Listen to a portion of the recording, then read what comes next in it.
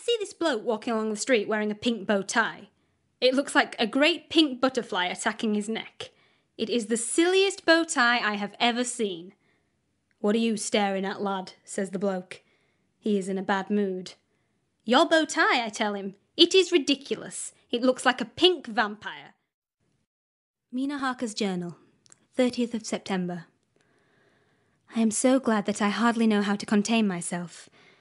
It is, I suppose, the reaction from the haunting fear which I have had that this terrible affair and the reopening of his old wound might act detrimentally on Jonathan. I saw him leave for Whitby with as brave a face as could, but I was sick with apprehension.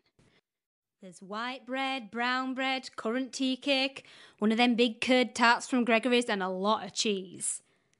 And a little brown jug. You know what that is, don't you? Don't you? I never did.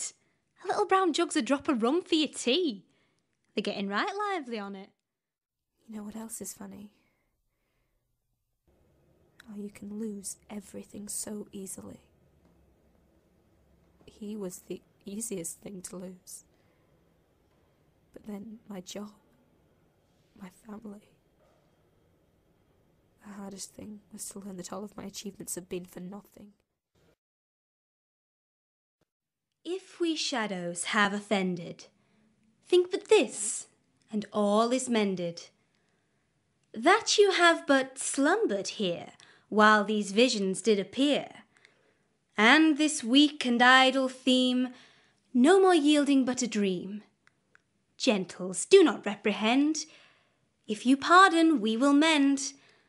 And, as I am an honest puck, if we have an earned luck now to scape the serpent's tongue, we will make amends ere long. Else the puck a liar call. So good night unto you all. Give me your hands if we be friends, and Robin shall restore amends.